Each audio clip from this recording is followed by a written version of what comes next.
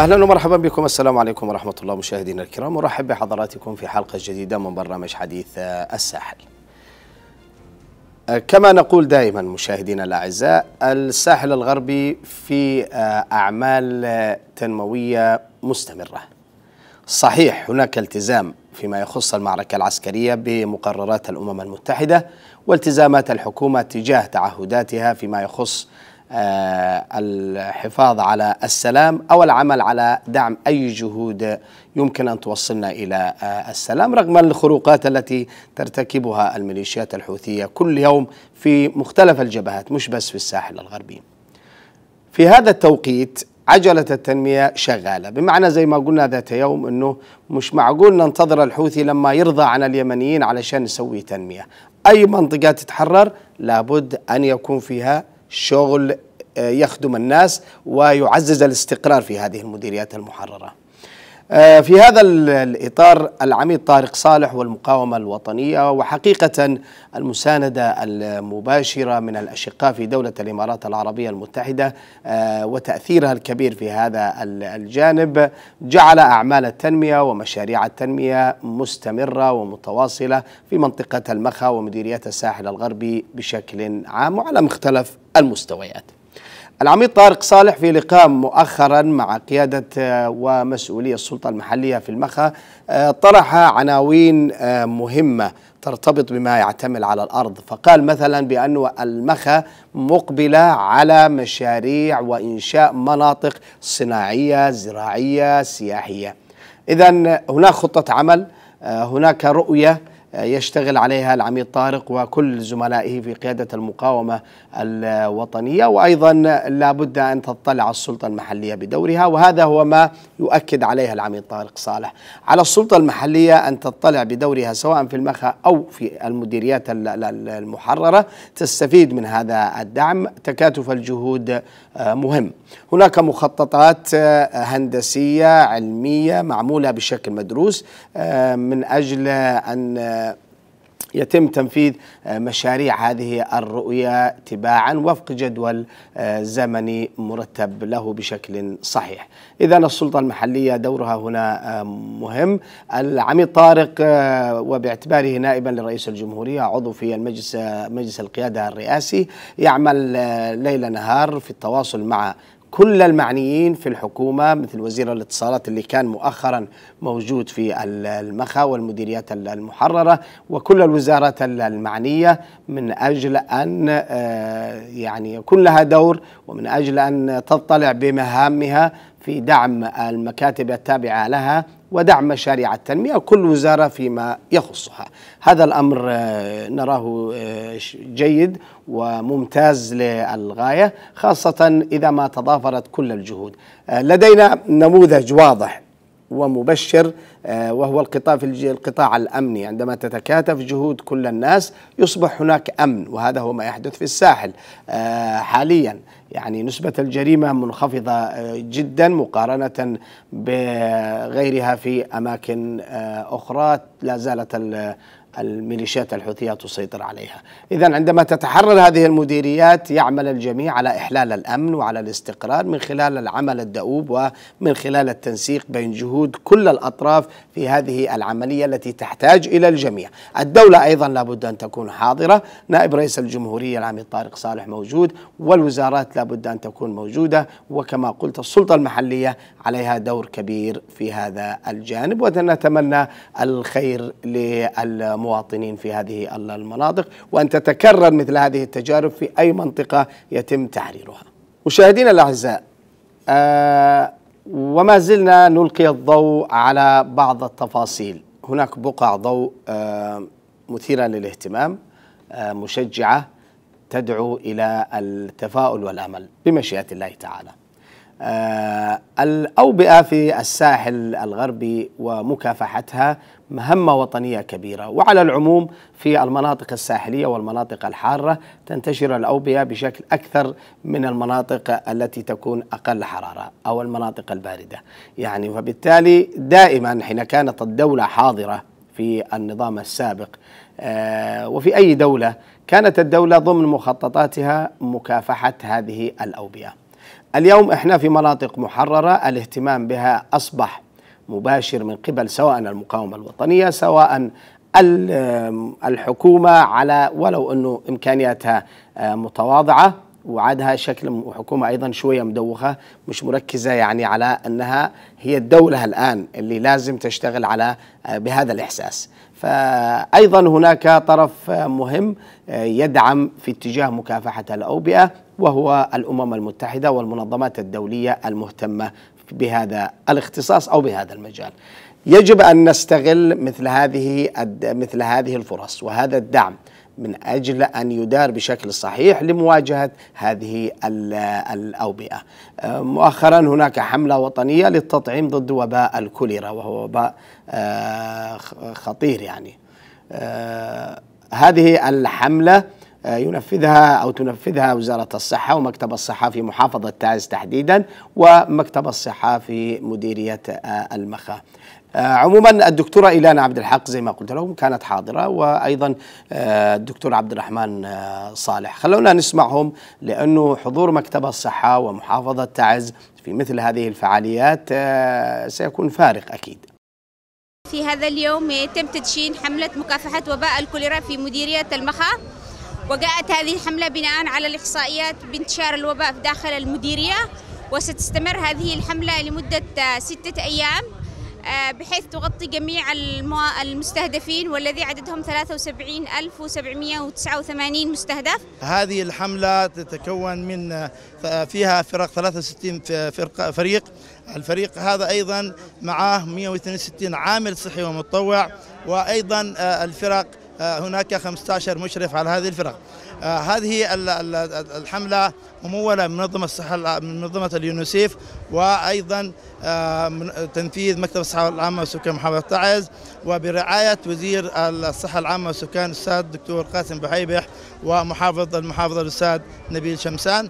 وإن شاء الله بهذه الحملة ستتحقق الهدف المرجو للقضاء على مرض الكوليرا في هذه المناطق الموبوءة والذي هي أكثر ضررا آه، زي ما سمعنا وكمان الدكتور عبد الرحمن بيتحدث عن أهمية أنه الناس آه، يعني يتعاونوا لأنه هذه الحملة مشاهدينا الكرام إلى كل بيت. يعني الفرق الميدانية الآن في مستشفى المخا العام بيتم إجراء آه، تدريبات وتحضيرات مع هذه الفرق من أجل أنه تتغلب على أي صعوبات وتوصل إلى كل بيت. المستهدفين 73 ألف شخص من سن سنة وما فوق من أبناء المديرية. آه، أيضا أريد أن ندعوكم إلى أن نستمع إلى ما طرحته الدكتورة سميحة و سميحة زايد وأيضا اللي هي مديرة مكتب الصحة في مديرية المخا وبطبيعة الحال الدكتور نصر عسكر المدير العام التنفيذي لمستشفى المخا العام. تستهدف الحملة مدن وأرياف المخا بالتنسيق والشراكة مع إدارة التربية في المديرية. تستهدف المدارس كافة. العمر المستهدف ما دون العام وما فوق ال 12 سنة. الحملة سيتم تكريرها عدة جولات للقضاء على المرض حيث أنه نسبة التغطية في الكوليرا اللي سهلت موجودة بالمخا 98% مقارنة بمديرية المحافظات تعز. تزامنا مع هذه الترشين وجود وكيلة قطاع الصحة لشؤون المحافظة الدكتورة إيلان ومدير عام مكتب الصحة في المحافظة الذي كانوا يعني آه، في الترشين وقد التمسوا أحوال المستشفى وقد آه، يعني آه، تفاعلوا مع الخدمات الإيجابية للمستشفى حول ترفيعه نتيجة الخدمات التي يقدمها لمديرية الصحة الغربي بالخدمات العلاجية والمجانية المميزة التي كان يفتقدها المواطن من سابقا. ونأمل من وزارة الصحة إلى التفعيل والتشجيع حول هذا المستشفى من أجل يقدم خدماته الواسعة على مدار الساعة لجميع مديريات الصحة الغربية. مشاهدينا الكرام آه، سأتوقف معكم آه، في هذا الفاصل ومن ثم نعود لنستكمل موضوعاتنا في هذه الحلقة. ابقوا معنا.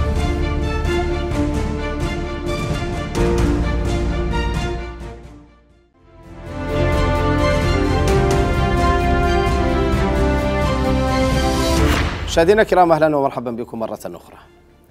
آه، في النزول الميداني وسلسلة الحلقات والمواد التي نبثها على حضراتكم تباعا، هذه المرة موعدنا في ميناء المخا.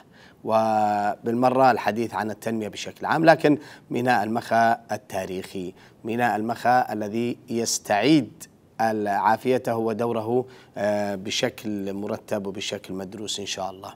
طبعا هذا الميناء آه، شهرته التاريخية ارتبطت بتصدير القهوة اليمنية البن اليمني موكا كافيه وكان هذا الميناء هو المنفذ الوحيد لتصدير القهوة من اليمن إلى مختلف أرجاء العالم منذ القرن الرابع عشر. يقال بأنه طبعا هذا الميناء قديم له شهرة تاريخية أكثر يعني أقدم من هذا التاريخ لكن ارتباط ميناء المخا بتصدير البن اليمني والقهوة اليمنية هو الأكثر شهرة والأكثر يعني تداولا آه، عند عند الناس. آه هذا الميناء آه اليوم تم تحرير مديريات الساحل وتم تحرير الميناء. طبعا أثناء سيطرة الميليشيات الحوثية على الميناء تم تدمير آه عدد كبير من المرافق التابعة لهذا الميناء. آه اليوم الميناء آه، على استعداد أو يستعد لأعمال إنشائية جديدة لتطوير وبعد أن تم إعادة تشغيله. آه، التقينا وزرنا الدكتور عبد الملك الشرعبي مدير عام آه، ميناء المخا. وتحدثت أنا معه شخصيا عن كثير من التفاصيل حول الميناء هندسيا وفنيا وإداريا وعن الحاضر وعن المستقبل وعن الدعم المتاح اليوم من أجل تطوير عمل ميناء المخا وعودة آه هذا الميناء للعمل بدوره الذي يستند إلى تاريخ مهم وأيضا آه إلى آه احتياجات الآن ومتطلبات ضرورية خاصة مع الحصار الذي تفرضه الميليشيات الحوثية داخل المحافظات اليمنية التي تسيطر عليها. أصبح ميناء المخا اليوم يمثل رئة يتنفس بها اليمنيون ويطلون من خلالها على العالم. آه، خلونا نسمع الدكتور عبد الملك. ميناء المخا خلال الفترة القصيرة الماضية من بداية الحرب إلى الآن تعرض للتدمير بشكل كلي ولم يتبقى إلا الأشياء البسيطة يعني مثل يعني لم يتبقى من ممتلكاته البرية والبحرية شيء إنما ما يوجد معنا هو الرصيف والرصيف أيضا تعرض للضربات والتدمير. بدأنا آه، قبل سنتين من الآن آه، لإعادة تشغيل الميناء بإمكانيات بسيطة جدا ومتواضعة بدعم مباشر من قائد المقاومة الوطنية حفظه الله. هذا الدعم مكننا من إعادة التشغيل التدريجي للميناء. ونعمل على إعادة التأهيل التدريجي أيضا للميناء بإمكانيات متواضعة لأنه حتى الآن لم نحصل على أي دعم مباشر ماديا من أي جهة أخرى. هنا نتقدم بالشكر مباشرة للأخ قائد المقاومة الوطنية وأيضا للأخ محافظ المحافظة وأيضا للأخ وزير النقل وقيادة وزارة النقل على دعمهم المعنوي. آه، لميناء المخا آه، الميناء يحتاج لكل شيء لإعادة التأهيل لأنه كما آه، ذكرت لكم بأنه تم تدميره كامل. والتأهيل أولا في مقدمة كل شيء هو إعادة التعمير لأننا نواجه إشكالية فنية. نواجه إشكالية مالية نواجه إشكالية إدارية الجانب الفني آه، نحتاج إلى إعادة تعميق الميناء لأنه آه، كما تعرفون بأن المناخ الموجود هنا في المخا آه، يختلف عن مناطق أخرى. التعميق يعني نحن في صدد البدء في التعميق في أقرب وقت في في هذه الفترة. نحن جاهدين للبدء في العمل. أعزائي طرحنا سؤال أيضا آخر وهو ما هي المزايا التي يقدمها تقدمها إدارة الميناء لتشجيع التجار على أنهم بدل التهريب أنه يكون يستوردوا بضائعهم ويصدروها عبر ميناء المخا. وكان هناك إجابة أيضا منطقية. نسمع الدكتور عبد الملك. الميناء قدمت تسهيلات الكثيرة ودعونا آه، أكثر من مرة والتقينا أكثر من مرة مع التجار.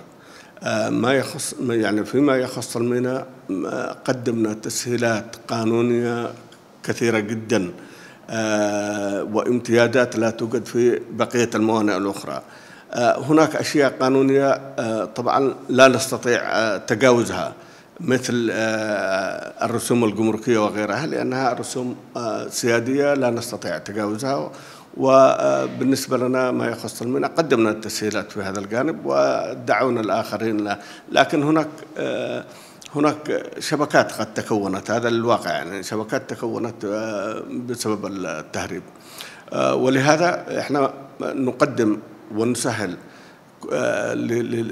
للعمليات التجارية بشكل عام سواء للتجار أو للوكلاء الملاحيين للوكلاء المخلصين الجمركيين نقدم لهم كافة التسهيلات ولم يعني أي ملاحظة نحصل عليها من من التجار نعمل على إصلاحها آه، بشكل مستمر.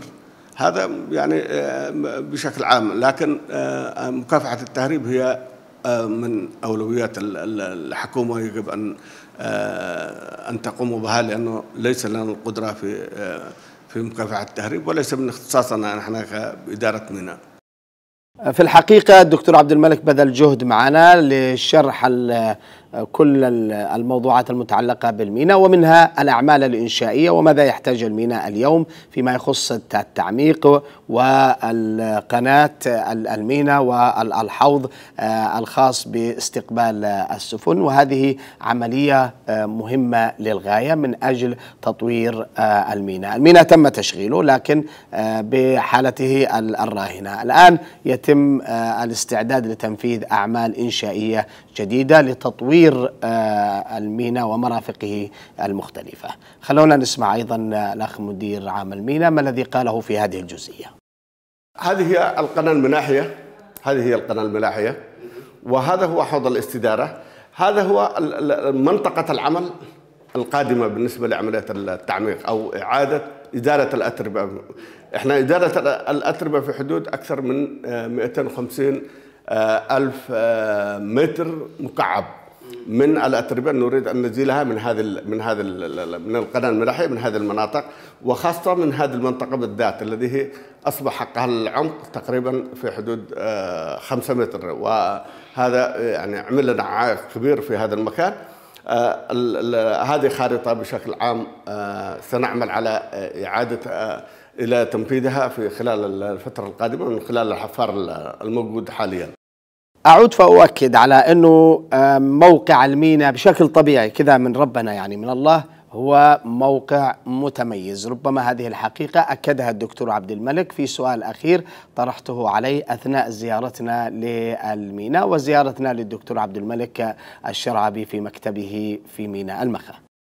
هذا هو آه، موقع الميناء مع مساحاته التطويرية من خلال الخارطة العامة الذي توضح من المخا إلى آه، ذباب بشكل عام. وهذه هي ال- ال- الخط الدولي الحالي. ولهذا نقول بأنه مميزات المميزات الكبيرة لميناء المخا لا توجد في أي ميناء آخر آه، في الجمهورية أو حتى في الدول المجاورة. إحنا نعتبر بأنه أو واقع هكذا واقع الميناء وواقع الطبيعي. آه، هناك إشكالية الرياح وما الرياح لكن كلها هذه آه، لها آه، معالجات. لكن كموقع موقع لا يوجد مثل لميناء المخاء هناك جزئية أخرى مشاهدينا الكرام إضافة إلى ما ذكره الأخ مدير عام ميناء المخا الدكتور عبد الملك الشرعبي آه، وهي أن الميناء آه، عاد تقديم فرص العمل لعودة اللي كانوا شغالين في الميناء آه، واستئناف آه، وظائفهم. تقريبا 2000 عامل عادوا آه، إلى الميناء. كانوا موجودين من قبل ولكن الحرب الحوثية والتي فرضتها الميليشيات على هذه المناطق يعني أوقفت كل شيء أوقفت الحياة. هذه المرة ها هي المديريات تتحرر ها هو الميناء يعود آه، للعمل وبطبيعة الحال يعود الموظفون والعمال إليه. هي مصادر رزق ومصادر للحياة مرة أخرى. دعونا نذهب إلى آه، ما قاله آه، نايل عبادي أحد المسؤولين في ميناء المخا في هذه الجزئية. نتكلم اليوم عن إعادة تشغيل ميناء المخا بعد توقف دام لعدة سنوات. تشغيل الميناء هو عبارة عن شريان شريان الحياة للمديرية الساحل بشكل عام والمحافظة بشكل خاص. عودة تشغيل الميناء بعد تدمير كل بنيته التحتية لا يأتي من فراغ لولا دعم القائد العميد الركن طارق محمد عبد الله صالح وإشراف من وزارة النقل. كان لها كان لهم الدور الكبير في دب الحياة في دب الحياة لدى المواطنين وخاصة في مديرية المخاء حيث أن المينا المخاء تحوي أكثر من 2000 عامل لعمال الشحن والتفريق. الذين حرموا حرموا أولادهم وقوتهم بعد تدمير الميناء وإيقافها لعدة سنوات. الآن الحمد لله وبعون الله تعالى وبدعم من القائد المقاومة الوطنية وبإشراف ومتابعة من الأخ المدير العام الدكتور عبد الملك الشرعبي. تم إعادة تفعيل الميناء وتشغيلها والآن في مرحلة تطوير جاء إن شاء الله قادمة. آه الجميع عاش والجميع انتعش والمديرية انتعشت بشكل كبير. لقد كانت حركة السفن حركة كبيرة جدا منذ بداية تشغيلها. لولا ظروف الحرب آه، والذي أتت إلى انقطاعات الطرق المؤدية إلى المحافظات أدى إلى بعض الركود ذلك بالإضافة إلى ذلك آه، شبكة عملية التهريب والمافيا التي تقوم بها في الساحل والذي ما زلنا نعمل على التخلص من تلك المافيا من تلك الفيروسات التي تعمل على إهدار المال العام.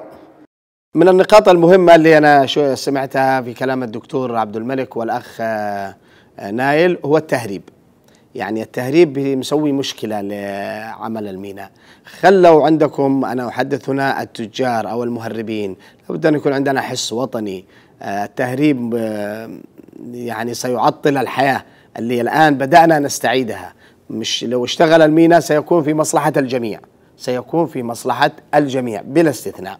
والتسهيلات المقدمة من الميناء كبيرة وخاصة في هذه الظروف اللي محتاجين نشجع فيها الناس على أن يستوردوا ويصدروا بضائعهم ولو على بسيطة وأيا كانت هذه البضائع قليلة أو كبيرة من ميناء المخلي الآن أصبح فيه يعني مرافق آه، تشتغل. الجمارك موجودة مكتب الجوازات موجود كل الأقسام الفنية موجودة وإن شاء الله آه، دائما بكرة يكون أفضل ما دام هذه الأجواء متاحة كما نراها وكما نشاهدها.